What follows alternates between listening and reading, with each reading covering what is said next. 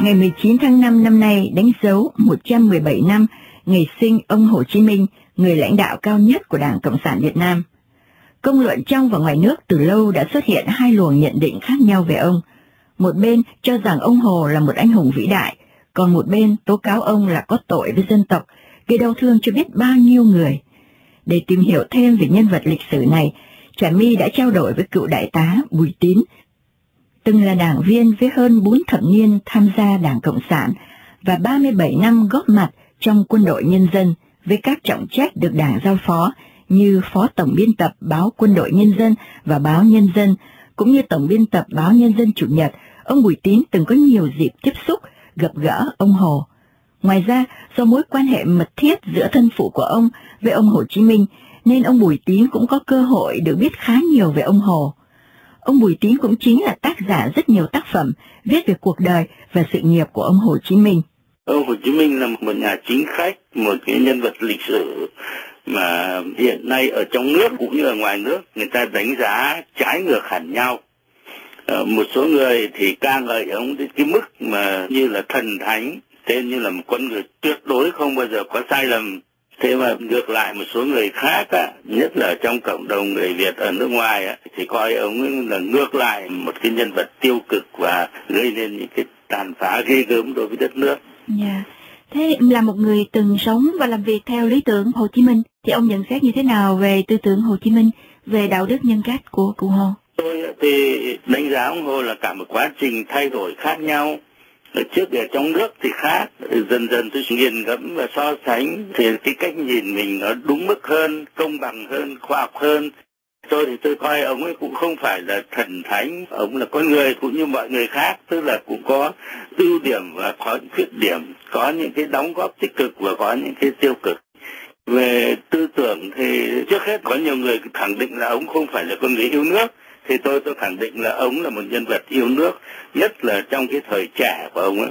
Tôi thì tôi không nghĩ rằng là khi mà ông ấy sang Pháp năm 1911 là ông ấy đi tìm đường cứu nước đâu. À, lúc bây giờ thì ông ấy là bị một cái bi kịch gia đình tức là ông cụ là chi huyện Bình Khê là vì đánh chết người nông dân cho nên là bị đuổi ra khỏi ngành quan lại đi bơ vơ ở phía Nam. Thế thì ông ấy mất chỗ dựa cho nên là ông đi ra để tìm kiếm sinh nhai là một, hai nữa, tìm cách để giúp gia đình, giúp cho ông bố khỏi cái cơn hoạn nạn đấy. Nhưng mà đến khi sang pháp đó, khi mà ông ấy tiếp xúc với cái nhóm như là ông ờ, phan văn trường ông Nguyễn Thế Truyền rồi cụ Phan Chu Trinh ấy, thì lúc ấy tôi nghĩ ông là con người yêu nước. Nhất là khi mà ông ấy đứng ra làm cái tờ báo người cùng khổ bảo vệ những cái người dân thuộc địa để chống thực dân Pháp tôi nghĩ ông ấy đấy là trên cái lập trường yêu nước. Nhưng mà cho đến khi mà ông ấy sang Mạc Tư Hoa năm 1924 và sau đó, ông ấy trở thành một cái nhân vật của đệ tam quốc tế cộng sản. Thì tôi nghĩ là lúc ấy ông cũng là người yêu nước, nhưng mà người yêu nước không còn theo cái chủ nghĩa quốc gia, mà theo cái chủ nghĩa cộng sản. Và càng ngày về sau trở thành ra một cái nhân vật thực hiện cái sứ mạng của quốc tế cộng sản giao cho, tức là gây dựng và phát triển phong trào cộng sản ở Việt Nam, ở Đông Dương, và còn có cái sứ mạng mở rộng cái chủ nghĩa cộng sản ở Đông Nam Á con đường ấy là theo tôi bây giờ đấy là một con đường sai lầm đưa đất nước vào cái tình hình khó khăn sau này đấy ví dụ như hiện nay đó dân tộc Việt Nam ta là quá là lạc hậu về mọi mặt về mức sống cũng như là nhân quyền dân quyền đó, thì tôi nghĩ cái đó là trách nhiệm của ông Hồ rất lớn vì là ông đã nhầm lẫn đem một cái học thuyết ở Liên Xô đã sụp đổ đó đưa về áp dụng đến gần nửa thế kỷ nay. Bây giờ cái học thuyết đó thì đã chứng minh trên thực tế rõ ràng rồi. Tức là chủ nghĩa cộng sản ờ, về mặt lý luận, xây dựng cái xã hội tốt đẹp không có người bóc lột người là một cái ảo tưởng thôi còn thì cái chủ nghĩa cộng sản, thì bây giờ ở cái nơi mà cốt lõi của nó là ở liên xô đã sụp đổ ở một loạt nước Đông Âu thì nó đã hoàn toàn là tan rã. Ở Việt Nam thì ông Hồ đã theo cái đó mà lý luận mà ông Hồ nói đi nói lại nhiều nhất là tức là Việt Nam ta phải bỏ qua thời kỳ phát triển tư bản chủ nghĩa để tiến thẳng đến chủ nghĩa xã hội. Thế thì bây giờ trải qua nửa thế kỷ, bây giờ sau khi ông chết rồi thì Đảng Cộng sản mới thay đổi hẳn lại trong cái đổi mới có nghĩa là từ bỏ cái việc tiêu diệt tư nhân tư hữu mà cho có cái gì thuộc về cá nhân là sai lầm để mà ờ, thủ tiêu nó đi chỉ còn có tập thể đó, thì bây giờ phải quay trở lại với cái kinh tế thị trường với chủ nghĩa tư bản thôi. Đến cái mức mà quá đáng là bây giờ là những đảng viên từ chỗ theo chủ nghĩa tập thể, thì bây giờ phần lớn những đảng viên có chức có quyền là trở thành những nhà tư sản, những nhà có đất, có nhà cửa, có tư hữu rất là ghê gớm bằng con đường tham nhũng chẳng hạn, để cho người dân cho đến nay có độc lập nhưng mà vẫn chưa có tự do của người công dân, chưa có xã hội công dân, chưa có cái tự do báo chí, tự do bầu cử, tự do tôn giáo vân vân. Thì tôi nghĩ đấy là cái trách nhiệm, cái mặt tiêu cực của ông Hồ còn lại mà nhất là tuổi trẻ chúng ta hiện nay là cần phải nhận ra. Ở Việt Nam có cái phong trào là sùng bái cá nhân Hồ Chí Minh đến mức gần như là huyền thoại hóa hình ảnh của vị lãnh tụ này. Trước đây đó nếu mà Trà My nhớ không lầm thì thậm chí còn có cái quy định bắt buộc là trên mỗi bàn thờ tổ tiên của từng nhà phải có treo ảnh bác. Thì nhiều người thắc mắc, nhất là trong thế hệ trẻ, thắc mắc là tại sao lại có cái tệ sùng bái mà nhiều người cho rằng đến mức quá đáng như vậy thưa ông ạ?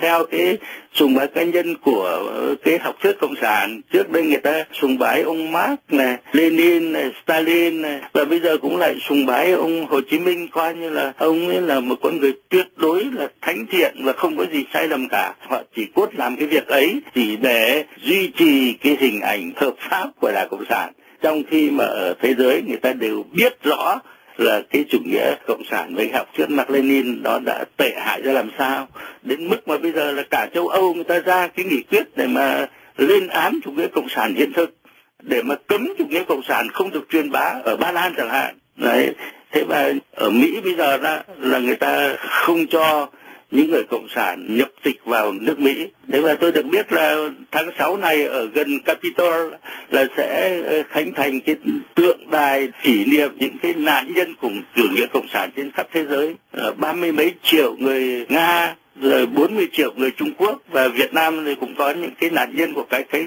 đất của những vụ án chính trị. À, thì cái đó là đúng trước khi mà ông Nguyễn Minh Chiết là sang thăm Washington. Cả cái nhân loại văn minh khi đã biết rõ cái chủ nghĩa cộng sản nó đã được thực hiện và nó gây tai họa như thế nào thì người ta còn ví dụ là nó còn tệ hơn cả chủ nghĩa phát xít nữa mà xung quanh hình ảnh của nhân vật lãnh đạo Hồ Chí Minh thì cũng có rất là nhiều cái huyền thoại cũng như là những lời đồn đại khác nhau khiến cho nhiều người trẻ họ bối rối không biết đâu là sự thật. Theo những cái kinh nghiệm và những sự hiểu biết của ông thì ông có những gì muốn chia sẻ đến với quý khán giả cũng như đối với thế hệ trẻ? Tuổi trẻ lúc này là cái quan trọng nhất là cần có cái tư duy độc lập. Tất cả cái, những cái gì mình tiếp thu được nên sàng lọc qua cái bộ óc, cái suy nghĩ của mình